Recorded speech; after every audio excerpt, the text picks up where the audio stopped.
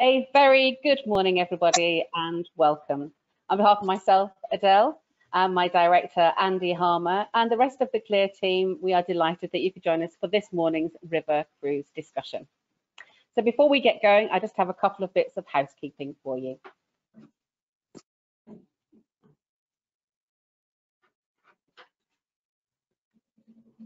So we'll be recording this session and we will share it on the CLIA website a little bit later on this month. And even though you'll all be on listen only mode for the duration of the webinar, we'd still like you to contact us. So if you have any comments or questions, please do submit them. And we've made it very easy for you. On the right hand side of this GoToWebinar, there is a little questions uh, icon that you can click on. It opens up a, a slightly bigger text box so you can add in any relevant questions or comments that you have, and we will cover as many as we can at the end of this session. And if your question is not answered or you can think of something after the webinar has ended, then do drop me an email at afoster at cruising.org. So this morning we have assembled a fantastic panel of experts for you who will be sharing their knowledge and experiences in the river cruise sector. So today we'll be joined by uh, Jamie Loizou from AMA Waterways and Chair of CLIA River Cruise Committee. Good morning, Jamie. Good morning, Adele. Uh, we also have with us uh, travel journalist, cruise expert and river cruise fan, Sara Macefield. Good morning, Sara. Ooh. Good morning. Good Hello. Morning. There you are. um, Right and brief. Well, we, we have had some slight technical issues. So um, our other um, travel journalist and, and river cruise expert, Janine Williamson, is unfortunately unable to join us, but we do have the amazing Andy Harmer. Good morning, Andy. I like being called amazing. You can you can do this again. oh, good morning, everybody. Andy, it's over to you, Andy. Thanks very much, Adele. Good morning, uh, everyone. Apologies for the slight late running. As Adele said, we had a few technical issues this morning. Luckily, Sara and Jamie are with us, uh, if not in person, then at least on camera and to share some of their expertise as well. Um, I should also add that it's a very special week for River Cruise this week because, of course, on Wednesday we have our first ever virtual River Cruise showcase with some great speakers, some great content, and some great product updates from some of our River Cruise operators as well. So if you've not yet registered, then please do that through cruising.org. Um, morning, Sara. Morning, Jamie. It's nice to have people to talk to. How are you both? Not too bad. Hoping the sun will come out this morning. Yeah, I know. Lovely weekend. rivers. Yes, it's always good to chalk rivers. Let's start with you, Jamie. Jamie, we know that you have a day job at AMA Waterways that probably takes up a bit of your time, but you're also heavily involved in a couple of CLIA groups. Why don't you give us a bit of a taste of what you do?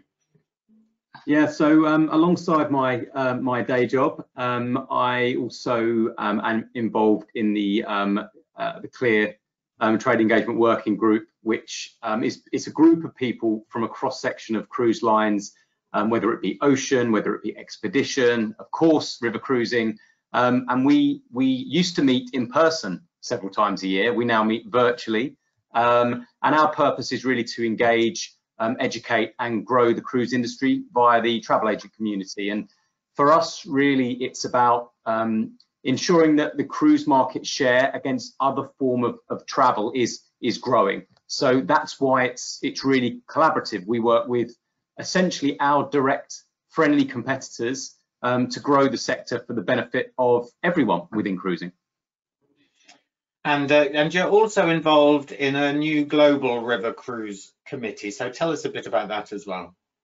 Um, so myself and some of uh, the executives from our other friendly competitors as well, such as um, Scenic, such as Riviera, such as, as Uniworld, um, we are, are now meeting on a quarterly basis really to um, try and ensure that the sector gets its share of voice, um, to implement some new strategies, um, and, and, really just to grow the profile of River. We see the opportunity for River as huge. I think the, this year has been a, an interesting year, but it does also um, present some, some big opportunities for River. I think River's very well set up for when the demand comes back to really to really grow. So we're putting in place some initiatives to support our travel agent partners um, uh, to really kind of lay the foundations and sow the seeds for uh, for what is going to be a very positive 2021. Very positively said, Jamie. I should just um, ask you quickly about AMA Waterways. How long have you been at AMA and, and what made you move into the river specific sector? So I've been with AMA now for nearly four years. I've I've worked in I know I know I've uh, I've worked in cruising for a long time. I was a, a travel agent for uh, nine years, um, and I always liked the the luxury ships, the smaller ships. I was very spoiled in my time. I think one of the things that that really attracted me to river cruising is is the size of the ships and the personalization of the experience. And it truly is a, a luxury experience. And it's such an innovative sector. And that really drew me in initially. And and also i'm a real destination nut. I my lights have gone out now. I'm not moving enough. Um, there you go. for me wave occasionally. I will do i will do. For me it's always been about the destination. And i think river cruising is such an immersive experience and it really enables you to get under the skin of a destination so for me it's it's the perfect way to travel so that that was a great draw for me and AMA's very innovative as well because just quickly, of course, AMA Magna kind of a new prototype on the rivers as well, which is an amazing ship. Yeah, I think AMA Magna launched um, last year. Uh, it's it, the innovation with with AMA Magna is astonishing. It really is unique. It, it's a double width ship, so it's 22 meters wide. Traditionally, river cruise ships are 11 meters wide due to the size of the locks, but there's a, a stretch of the Danube where um, AMA Magna can operate. She's got um, four restaurants, five bars, a huge wellness space, um, huge deck area, and, and suites of up to 710 square feet. So actually, she's very well set up to be a stepping stone into river cruising from ocean cruising. So not only has AMA been phenomenal for, for Waterways, but I think it's great for the sector as a whole, um, showing the innovation and also introducing new to river cruise, which is really, you know, that's what we really need with the new capacity that's coming on not only from ourselves, but also, you know, a lot of people within the river cruise sector. Perfectly said, thank you. Um, I should just uh, reiterate what Adele said. If you do have questions for uh, any of us uh, this morning, then please do ask away. There's a nice question box. And as we come to the end, then we'll ask Adele to see if we've had any questions. I just want to pick up on something you said, Jamie, which was around destination immersion. So Sara, is that why is that why river cruising was such a fast growing sector before 2020? I think it was one of the reasons. I mean, obviously, it is I mean, as you said, Jamie, it's a brilliant way to explore the destinations because it really does sort of concentrate on those areas where the rivers are flowing through. Um, but I think there's a whole number of different factors because you have got this sort of big expansion of destinations now, and and you know the big expansion of vessels as well. I mean, AMA Magna is one example. You know, virtually all the river cruise lines are adding more vessels. They're all getting more sleek, more facilities. You know, and obviously they are limited because of the size of the rivers and the locks, etc.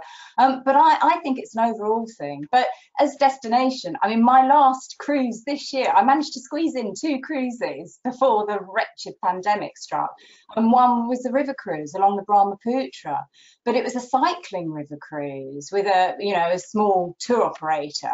Um, and basically we had a fleet of mountain bikes on board and we were cycling about 40 kilometers every day but we are going really off the beaten track into these villages where the locals had never seen western tourists before certainly not cyclists i mean for them cycling is not a hobby we would have crowds of people coming out to watch us and it, yeah, it was amazing. I am a real river cruise fan, I must say. Um, I always used to sorry I used to prefer ocean cruising but now I'd say on a you love them both equally. Uh, yeah. It was so fantastic. You know cycling through paddy fields and the shadow of the Himalayas. Yeah amazing. Um, destination is so key Uh, and, and, we've talked a lot over the past few years about cycling. I don't know why cycling resonated so much, but I, I, I, remember a couple of years ago it suddenly became very exciting to talk about cycling and river cruise, although you have just resold cycling to me based on that experience in India. But there are other experiences as well that many people won't associate with river cruising, aren't there? Yes, I mean, and also that comes on. I mean, I think it's something we might have been discussing, you know, with the themed cruises. You know, you've got these culinary cruises that are coming up. I mean, I was reading, you know, one of the lines was it scenic or someone, they're introducing more um, culinary cruises in France, you know, next year, which really lends itself. You've got sort of the Jewish heritage cruises, which I think AMA, you do, don't you? You know, don't you, Jamie? Um, that there are a lot of sort of, they are getting into more of the specialisms, more of the themes. Of course, one coming up, which is fantastic, which is Christmas markets, um, which I must say is another big favourite really, which I think the river cruise companies do so well because all the boats are decorated. So as soon as you get on board, you've got the sparkling lights and the Christmas tree, and then you're stopping off at the markets along the rivers. Um, you know, it's, yes, it's fantastic. And as I said, I think it's all about the companies becoming more imaginative, more innovative, and really developing the products that they're offering on board, as well as the actual hardware as well. It, it's sort of all round. And Jamie, how hard is it for somebody like AMA to differentiate yourself as a as a brand, as an experience to some of the other companies that operate? Well, I think the the interesting thing, River Cruise is it's probably ten or so years behind our Ocean Cruise um, uh, partners, and um, I think Ocean Cruising's got kind of a natural pecking order, which has been uh, established, and and and there is really good brand differentiation. I think River Cruising still has a little way to go. And but I do think that it's to do with a lot of the softer elements that enables um, us to, to, differentiate ourselves from from um, uh, from our from our competitors as well. You know what what uh, the enhancements that we offer on board in terms of food, in terms of wine across all different river cruise lines is is obviously one thing, and then how that develops into into theming. So wine cruise being a being a perfect example. I think that the types and choice of shore excursions is another thing that that will differentiate, um, as well as kind of other things such as the number of staff and crew that you have on board and, and that level of service. But what I would say is, is certainly one of the reasons I feel river cruising has been growing so quickly in recent years is the fact that it offers tremendous value for money, whichever river cruise line you cruise with. And I also think that for a travel agent, the levels of commission that river cruising offers is also very, very high. So it makes it a very profitable sector for um, river cruising uh, for, for, a travel agent to be in. And I think that has also driven um, the success of river cruising um, because, you know, uh, uh, traditionally um, river cruising, it, it's sold a lot through travel agent partners. That you know, there is a there. So that's that's one of the reasons why it's really really grown exponentially in the last few years. But but why? But from a travel agent perspective, I guess some of the differentiating factors around River Cruise are those soft items, as you mentioned, and it's quite difficult to explain them, I guess, or to to kind of educate people on them. So how, how different are the products, and how and therefore how difficult is it from a travel agent perspective? Do you think? Well, I think there's there is a there is a big difference. I think um, you know you what you you get what you pay for in life, and I think that you know, you at the top end of the uh, at the top end of the uh, of the market, you've got a great option of choice, and and choice is a is a big thing. Um, whereas um, whereas if you're paying a little bit less, but you'll maybe just have one shore excursion as an example, but at the top top end of the market, you'll maybe have a choice of up to four or five different shore excursions with smaller groups, um, and and that is that's a, a good point of, of differentiation as well. Um, the number of people on the ships also is a, is a point of difference. So, you know, you might have exactly the same ships and ships tend to be the same size. So you might have maybe up to 200 people on one ship and maybe 140, 150 on another ship. And, and that gives a, a, a more sense of, of space. So um, th that's, that's certainly uh, an area where um, you've got a difference between. So it's not just, it's not all about um, inclusions and what star rating someone is. There's other kind of softer elements, and, and a great way to understand that is to get on board the ships. Yeah. Can I just interject? Yeah, please well? do. Um, just to say, actually, that's something for myself as a journalist as well, where I found attending the, Re um, the CLIA River Cruise conferences in you know November each year really useful because obviously there were the ships that were all lined up, or the or the riverboats, um, and you very much see the differences as you're wandering between the five or six vessels there, how different they are. And for example, you know, it is a lot about the decor as well. So for example, Uniworld is like, I always describe these mini floating Versailles, and they've got all the extravagant drapes and the sort of padded wallpaper and four-poster beds even, and it's, it's all very ornate and extravagant. And then at the other extreme, you've sort of got scenic, which again is is also the same level of luxury, but it's more sort of chic and, and more pared back, um, very cosmopolitan. So you've got two very different styles just there, you know, um, Arosa is different again. So it, I think the best way, as Jamie says, is to see it. But I mean, even just looking at their videos, looking through their brochures, but, but look at the decor, because you've got someone that would absolutely love Uniworld and all that extravagance, but they may not like the sort of pared down Scandinavian feel, perhaps of some of the other lines. So it, it does vary. I mean, Yeah. I'm amazed at the differences you can get actually, because they It are amazing, yeah. a similar size because they have to be the vessels. So it is that on-board character and ambience. And and yes, uh, there is quite a difference between them. So a bit of homework, a bit of attending some CLIA events, and unfortunately, those in-person events this year uh, are not going to happen. So we're not going to be able to go to Amsterdam this year, but we, that's why we have our virtual showcase this week. So hopefully, we can add and uh, demonstrate some flavour of those differences as well. But but Sara, do you do you think customers are getting to understand the differences or or understand the different experiences available? Well, I think it's vital, obviously, this is where travel agents come in so much, as you've touched on, um, particularly those that maybe are first time with the cruisers um, or their first time with a particular brand. Because, I mean, the, the- whole story with cruising is the research beforehand, isn't it? Um, I mean, I. I don't know what the sort. I mean, the loyalty is pretty strong in river cruises, so I think perhaps people find a line they like, Yeah. and they like that style of cruising they like what's offered and thus they then they then get sort of pulled into the customer you know the customer retention programs as well so, So, so I, from, yeah, no, No. good point. And let me just uh, add a kind of a follow-up question to both of you, actually, which is around the customer journey. You, you mentioned that they become a bit brand loyal because they find a brand they like. So in ocean cruise, we might say a first-time cruiser might go to the Mediterranean or might do a short taster cruise. For a river cruise guest, where where is that journey? Where do they generally start? Shall I start with you, Jamie? Yeah, I mean, for a, a- a great kind of jumping off point really would be the Danube. The Danube and the Rhine in particular, they're the two kind of hero rivers. And, and the Danube, you know, you've got this amazing stretch where you've got Bratislava, you've got Budapest, you've got Vienna. So you've got these kind of hero ports of call. Plus then you've got these beautiful smaller towns and villages that, that kind of make up the, the journey between those between those. So really the Danube and, and the Rhine are the natural starters for 10, I suppose. And then you've got your other lesser known but equally beautiful rivers, you know, such as the Rhone and then the Douro. So once people get to know a little bit more about the, the, the geography of, of river and they talk to other customers that have may, maybe been on um, other products, there's then that natural progression. And I kind of feel that that European river cruising sits completely separate from these exotics, like like um, Sara alluded to earlier, which is something completely different altogether. But there, there's definitely a natural progression, I would say, with um, with European river cruising for sure.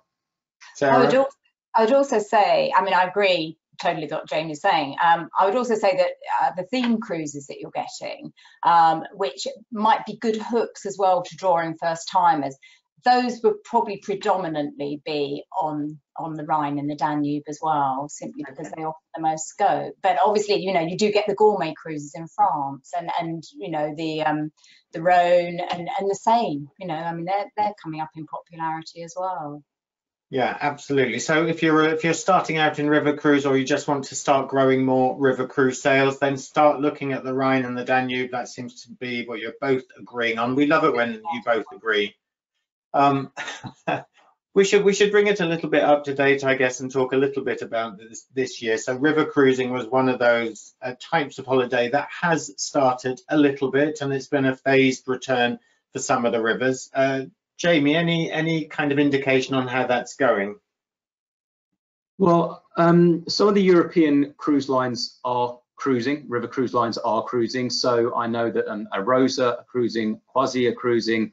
Uh, we've actually got a ship that's been chartered by a German company, so we are cruising, although it's a charter. Um, it's all going very well. Um, I know that um, obviously health and safety protocols have been enhanced. And I mean, let's be honest, you step on board a cruise ship and it's always immaculate the, the levels of, of, of hygiene and cleanliness are always second to none, but they've been elevated even more. River cruise lines are, are testing people as they come on, so they're doing temperature checks. They are um, uh, um, spraying down uh, luggage as they come on board, so that's all being wiped down by you know um, alcoholic wipes, etc. There's social distancing on board as well. So on the Rhine and on the Danube, you have a, a maximum number that you can actually cruise with, which is a, as 100 as far as I'm aware. So you've got that social distancing. I also think river cruising generally, you've got social distancing because you've got a, a relatively big floating hotel with not very many people on board. You have small groups um, going ashore. So, you know, it's actually geared up very, very well for the current situation that we're in. Um, buffets have also been uh, have been kind of removed, so it's now a la carte. But again, with the small number of people, I think that river cruising's set up very well. And, and I actually think that um, the situation that we're in has actually fast tracked some innovation that will now become a matter of course going forward. So, you know, in-room dining is another thing as well. You know, we introduced in-room dining for our German charters. So, you know, there's some things that um, people are kind of taking a step back and thinking, actually, is this an enhancement that we want to implement going forward? So, you know, it's it's it's being very well received. It's it's popular. Um, I know sadly Janine was on board um, quasi yeah. in France, so um, I know that she would have had some first-hand experience. Certainly what we are seeing is, is very positive feedback. And yes, people have to wear face coverings, but actually it's only normally from point A to point B within a ship. Um, and we hear that actually you're wearing a face covering for, for around about 10 minutes. You know, and we're all used to wearing that now. So, you know, I was in the supermarket the other day and was wearing a face covering for 40 minutes. So that's four times as long as I would have had to have worn it for a whole day if I was yeah. on board a river cruise ship. So, yeah, uh, Sara, I, I, that way, that's one of the reasons why Janine was hoping to join us. But I don't know if you have any anything that she said to you, but but um, or whether you've been you haven't been on a river cruise yourself, Sara. No, sadly not. I was trying to arrange one in Portugal, and that sort of was scuppered somewhat. Yeah, um, yeah. No, from what I know from from a couple of the other journalists who've been, I think they found that you know the face mask issue didn't affect things at all negatively things were continuing as normal and that, that it was all still a very enjoyable experience for themselves and, and for the other um, you know the other passengers as well. So yes i mean it's interesting what you said jamie actually. I was just taking a note there about you said some of the innovations that have come about and you said about in-room dining. And one thing i've noticed and it's been from yourselves actually, AMA, and also from Uniworld, is um, other means of travel to the vessels. Because at the end of the day, some people will what, not still not want to fly and will be worried about sitting on an aircraft with 100, 200, 300 people um, in close proximity for you know hour or a few hours. Um, and I know that Uniworld has launched self-drive options um, to and from its vessels. And I know AMA, you've extended no-fly itineraries, haven't you, in, in terms of sort of offering free return rail as well. So I do wonder if that is something we will start to see a little bit more of. And of course, Europe is very accessible in that way. Um, wouldn't be so different in Asia, but it's not far, is it? It's not far down the road, of Europe. Um, yeah, so I think, I think I think that's going to be interesting. Yeah, I, I, agree with you, Sara. And I think also, interestingly, I think some of the itineraries will be set up accordingly. So I do think that, you know, round trips, as an example, work incredibly well when you're when you're doing a, a self-drive or, or rail. It just makes it that little bit more straightforward. And, and I know that there's some new Amsterdam round trip itineraries that are being launched next year. You know, Riviera have got a new one, Emerald have got a new one, and and I think that, you know, people will will there there are more. It, there's a, there's more to think about now with with the situation that we're in. But I think that it's about pivoting and looking to the future and and kind of future proofing ourselves against this and and um, and making it making it more relevant. So um, I, I, think rail is rail is a great one, and I think that we need to overcome all the barriers that might be in place in order to make sure that people feel comfortable and confident um, coming on board the river cruises. Because I think from a river cruise perspective, I think the ships will do phenomenally well. I think the biggest barrier could be getting to and from with people thinking yeah. about you know air travel and rail and and and, the, and what suits them and what makes them feel very comfortable. Really good point. I think actually river cruise has always been, as all cruising, has always been innovative and imaginative and kind of pushing them, you know, much further than some of the other hospitality travel sectors. So, so I think that's very true, Jamie. Um, Earlier, Sara, you mentioned Christmas markets, which I guess is kind of the, the, the season that's coming up. For those people who've never Christmas market cruised, Sara, including me, I've never been on a Christmas market. No, I know. One of the best. But what's the experience like and how does it differ to a normal summer river cruise? Okay, so well, okay, I'm thinking back to my first one now, which was only two or three nights, and it, and it was on the um, the Rhine, and and uh, basically as soon as we got to the river vessel, they're all beautifully decorated. So as I said before, as soon as you go in, you've got all the fairy lights. They make a real gingerbread house, which you really have to resist start dipping into and prodding and things like that. But and and yes, and they have the Christmas tree and maybe a bit of Christmassy music. It's all very very festive. And then when you go, for example, my first one was Cologne, um, and that has um, three or four Christmas markets in the city, but the main one is in front of the cathedral. And oh, you've got all the stalls which are in like these little alpine sort of little cabins, and they're selling. I mean, I'm a shopper anyway, so I just love it browsing. You've got all these lovely Christmas decorations and you've got beautiful candles and lovely candle holders. It's all the sort of, sort of stuff that anyone that's into that sort of shopping would love. Um, you've got lovely food as well for sale, jewellery. Um, it's ideal for Christmas presents. You're finding things that are a little bit different. You're finding things that are hopefully made locally and not made in China on the bottom. But when I looked, they were local. Um, you've got a fabulous, um, oh yes, drinks, Glühwein. Because when I went to Cologne, actually, because it, I would say it does get bitterly cold sometimes on the continent. You almost wear need to wear long johns because it, you do feel the cold biting in. But I found that after a couple of glasses of Glühwein, and they sell them in these mugs, and you buy the whole thing. You buy the mug and it's a Christmas market um, souvenir mug with your with your Glühwein and after a couple of those you start thinking oh yeah this is great and just start buying anything. But it's it gives you a lovely warm feeling and hot chocolate with marshmallow. Oh it's just fabulous. The only thing I would say actually when I did the first one we got to Cologne on the Thursday and the market was fabulous it wasn't too busy at all we then cruised to Rudesheim further down the river um, spent a day there. When we came back to Cologne on the Saturday, it was absolutely packed and it was a battle getting through. And I was so glad that we'd been midweek because then we had been able to explore it. So I sort of almost think weekends maybe to avoid because obviously you've got all the locals then going in as well. But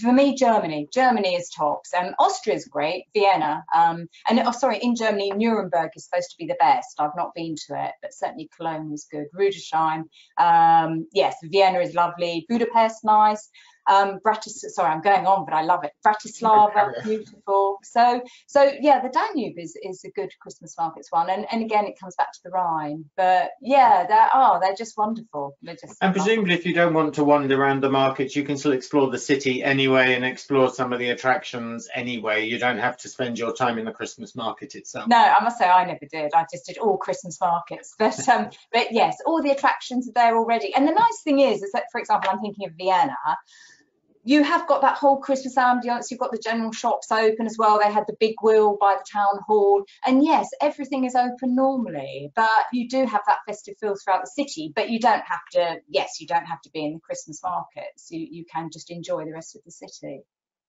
Um, and, and uh, there is a fellow journalist who I shall remain nameless, but has spent a lot of Christmas and New Year periods itself on river cruising. So presumably you celebrate Christmas on board the ships as well, Jamie?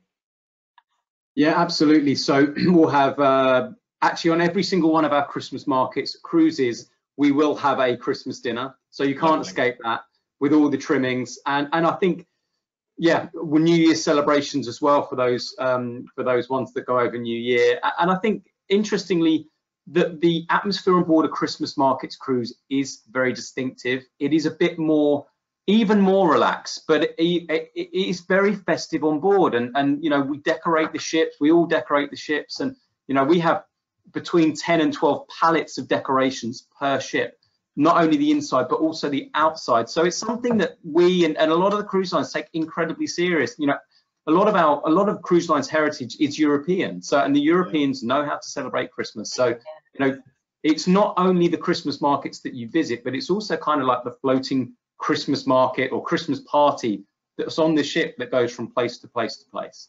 And probably has a lot to do with Glühwein consumption as well, I should imagine. That, that helps. Can, can I just sort of make a point as well, is that I see them quite distinctively different. The Christmas markets cruises compared to the Christmas stroke New Year cruises. So for example, if someone is looking to book and they think, oh, we want to do Christmas markets, but we want to go over Christmas, New Year, in my thinking, it doesn't really work. You do one or the other because if you're flying out for Christmas, say you're flying out on about the 23rd Yeah. of December or something, Yeah. A lot of the Christmas markets can finish by then. They might finish on the 20th. I think sometimes they go to the 23rd.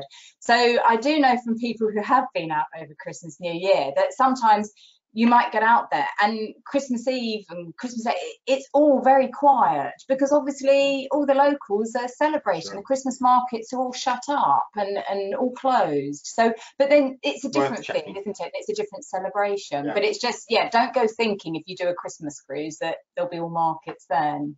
Good advice. Good advice. Uh, we're going to come to um, opportunities for 2021 in a second. Just a reminder to everyone, if you have any questions or any comments or any thoughts for our uh, special guests this morning, then please send them through and we'll be asking Adele to share those questions in a second. So uh, please get them in now.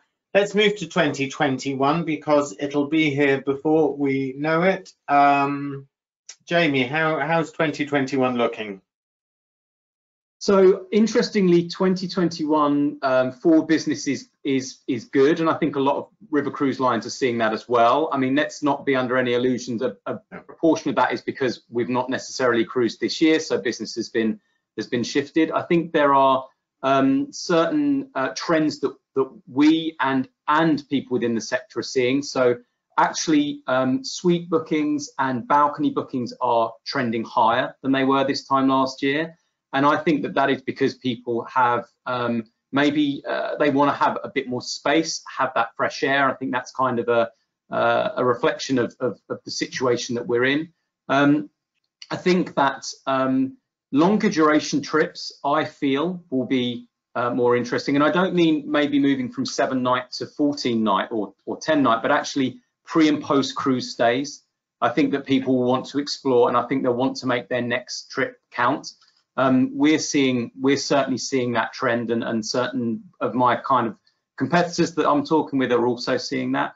Um, and actually the bucket list destinations uh, the exotic destinations certain areas anyway are seeing a lot more traction now than they have done in the past. Certainly we've launched a new Egypt program for next year and the take up on that has been has been phenomenal. And I, I do think that, that that bucket list whether it be you know certain parts of, of Africa whether it be you know whether it be um, maybe a bit more bucket list in Europe. Maybe certainly, I, I think that, that those destinations are going to be are going to be more popular. Um, and, there's some interesting developments for 2021. I know kind of TUI are coming into the market in a bigger way in 2021, which I think will be great for everyone. Um, you know, having having a, a, a big boy coming in in that respect is going to be good. And Saga extending um, the success of the Spirit of Adventure into river cruising with their new build Spirit of the Rhine. I think that's really interesting as well. So people are investing in the sector. So it, it bodes well for 2021. It really does.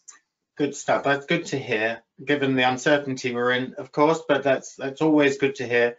Um, Sara, anything you're, I'm, I'm just conscious of time, but anything you're particularly excited about for 2021? Um, well, I mean, I think first of all, I think river cruising, thankfully, is is helping to lead the recovery because we've already had quite a few lines start up, and I'm hopeful that will continue and it will it will lead the strength of the market.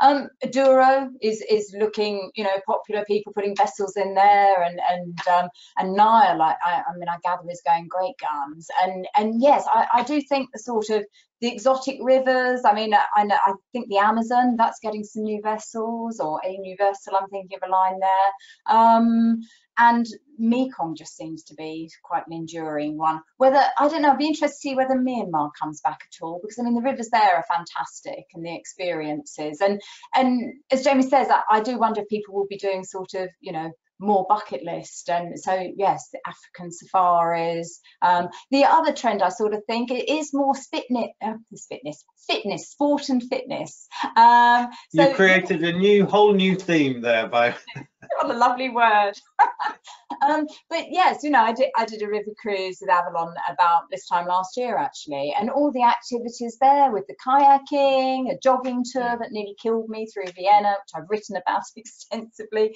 Um, but all those activities, and that really does help you get under the skin of the destination. You know, some of these early morning walking tours before cities have woken up. So I think that also the, the type of excursions are becoming more innovative, of really getting under the skin of destinations, and we're I think we're going to see more of that as well, you know.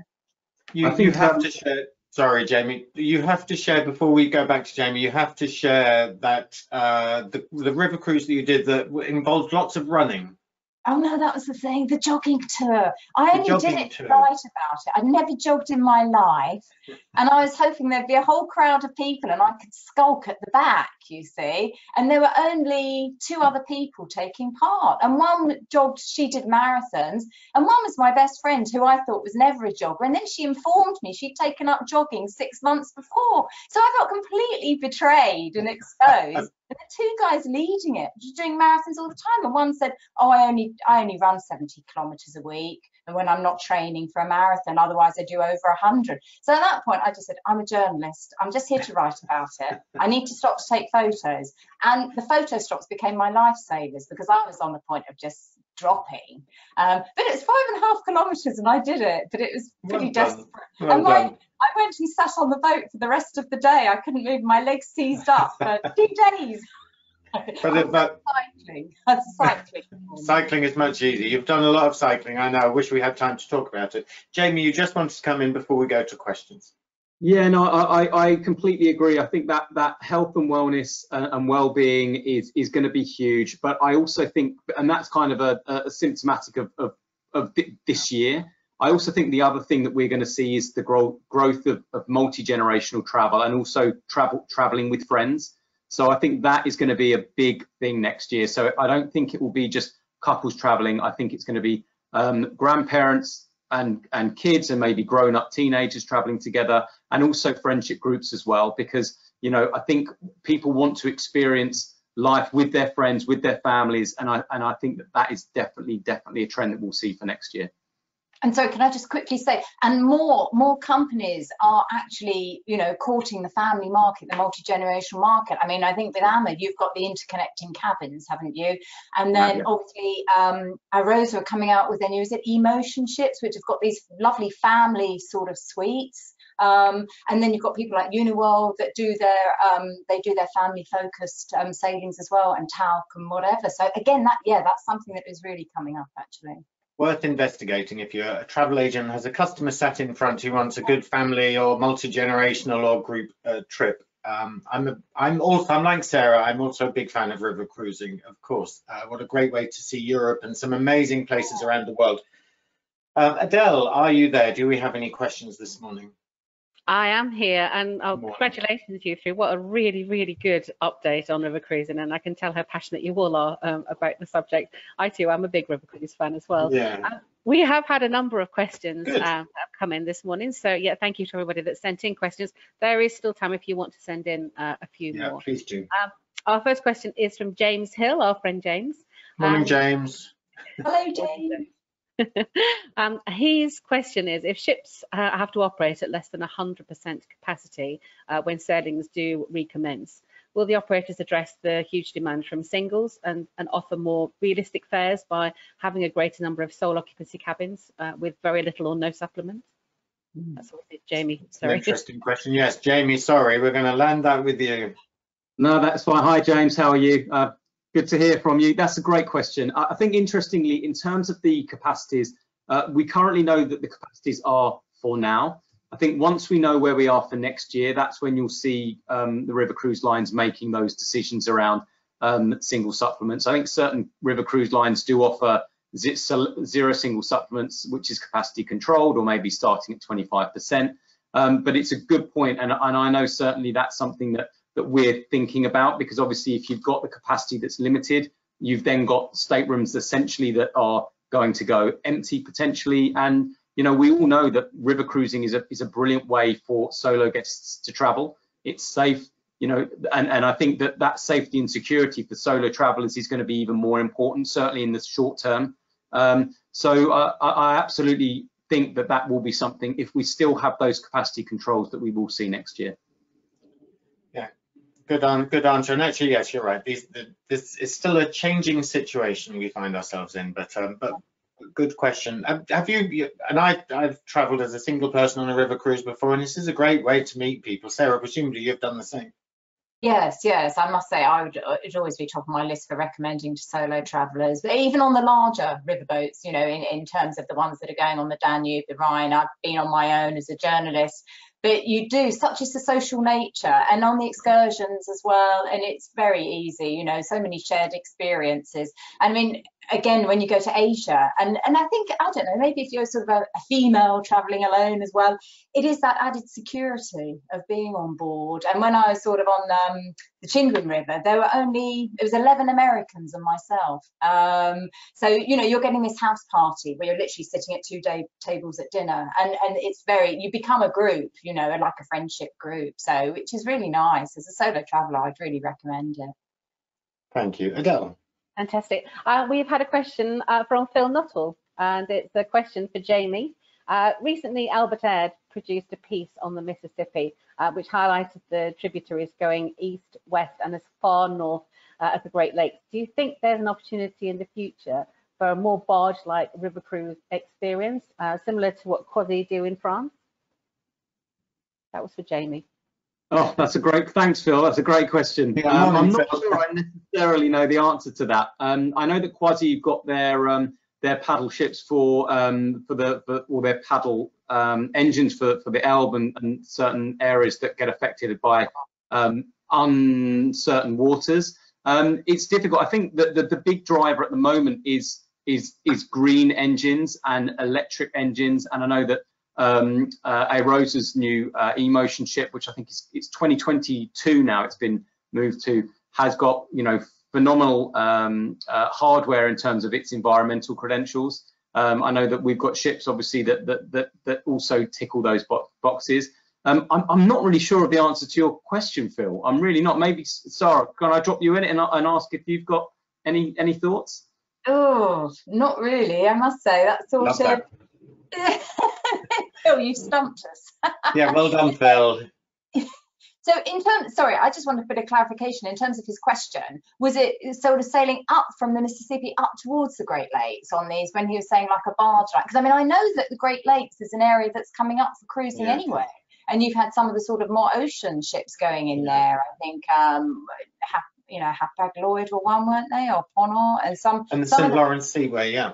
Yes, yes, that's right. But in terms of was he saying about sailing out from the Mississippi? Yeah, I think so. Yeah, I don't know. I mean, I don't know whether any of the Americans like like American cruise lines. I mean, they've just had a new vessel, and you know, whether they're looking to expand, because certainly you are seeing more, you know, more companies on the Mississippi now. It's about three of them, I think, um, and then there are plans for others to start, I think. Um, so it wouldn't surprise me because the way that river cruising is expanding in the destinations, but nothing solid to to sort we, of we shall in, we shall investigate phil and come back to you. Leave it with us. Yes very interesting topic actually. Um, yeah. a massively up and coming area. Um, we've had another question in from andre anik uh, and he uh, says do river cruisers manage to get more younger people on board?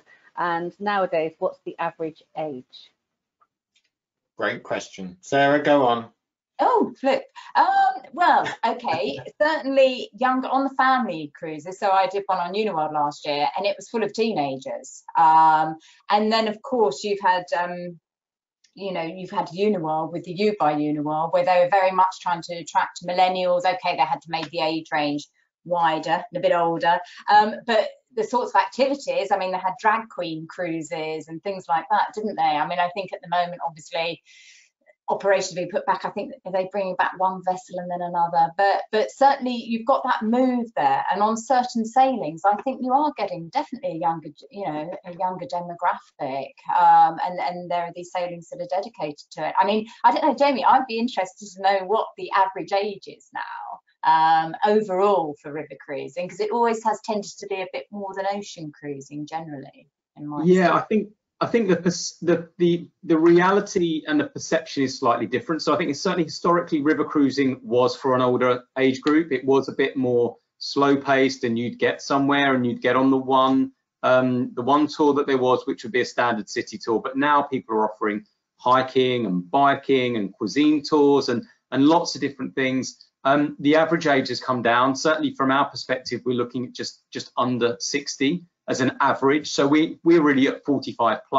And because you've got, you know, you've got bikes on board, you've got wellness hosts on board, you've got um, river cruise lines with, um, you know, the, the, the Arosa's emotion ship is going to have um, staterooms for, for five people, so a dedicated kids club. So it's bringing that age group down. And I think river cruising is great for, for people that want to get out and about and see the destination. So I really do feel that, you know, if you're looking at people that are 45 plus, I, I think that they are they are really your kind of your market, your market. Those people that want to see a destination, that want to get under the skin of a destination. So the average age is definitely coming down. And actually, sorry, I would just say when I did the Avalon cruise, the sport and active, the active and discovery cruise last year, um, the age was, you know, I'd say, oh heck, 40s, 50s, 60s, and even the older people, they were all fitter than me on the hike. They all left me behind because I'd never hiked before either. and I went into the top group rather ambitiously. Yeah. And all these older people were just, you know, steaming on ahead. So I would say, even when they are older on those sorts of cruises, they're very active as well, you know, very fit. But yes, that was definitely overall, that was definitely a younger, a younger we, we, need to get you running and hiking, Sara. It's also the type of person that it attracts. It's a mindset thing because, you know, you get people in their 60s that are more like a, a 50 year old or a 40 year old, whereas you might have the same, someone the same age that acts very differently. So it's more about that mindset and it's that people that want to get out and explore. Um, you know, uh, uh, that, that's really the mindset. So I think the mindset is becoming younger as well as the age. And people are interested in culture. Sorry, I keep interjecting here. I don't want to run over carry time. On. No, you carry on.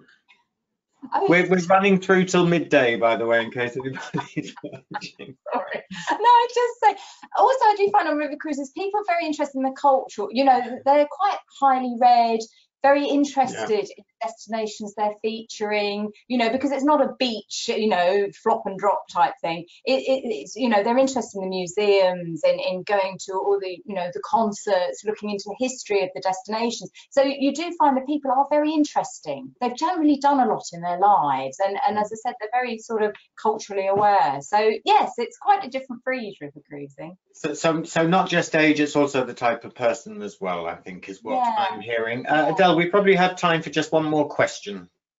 Okay, bear with me. I'm going to try and find a really good one now. There's, there, there have been lots of questions, and any questions we haven't got to, um, yes. I can put to uh, to the guests Sorry. here. Um, uh, no, no. Um, and uh, let me have a look. Uh, now, this is a, an interesting one from Jane Middleton. Uh, Jane's one of our um, uh, travel agents that join lots of our webinars. So, good morning, Jane. Good morning, Jane. Um, and does Jamie have any idea when AMA may be back cruising? That's a very good question. So um, for us, um, we have a good proportion of our guests that are, um, we're very international. So it's not just Brits, it's not just Europeans, but also um, North Americans. There's obviously challenges with um, the North Americans traveling into Europe, particularly the Americans. The Canadians need to quarantine when they get home. So for us, it's really, it, it's a little bit out of our hands. It's dependent upon um, our friends in the EU and, in, you know, making decisions. So we are uh, we're looking. We'd love to we'd love to be able to say we're going to cruise for Christmas markets, but we really don't know whether that's going to be the case. Um, I think it may be that we'll be looking uh, more towards 2021. Uh, in all honesty, um, but if we get the opportunity to travel for Christmas markets, we will be there with with bells on, jingle bells on. I would say. Love that.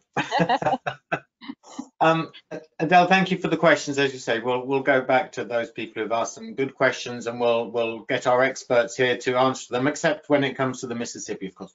Um, but thank you for thank you, Adele, for hosting us so well this morning. Thank you, Jamie. Thank you, Sara, and thank you everyone who's been watching us. And just a quick reminder: Wednesday morning is our very special uh, virtual river cruise showcase, where you can uh, attend some sessions. You can also meet with our sponsors and our suppliers and get some product updates and ask questions and do all kinds of stuff. So that's Wednesday, 9 a.m. through till midday. But from Adele and I and our special guests, Uh, have a great Monday and thanks for joining us.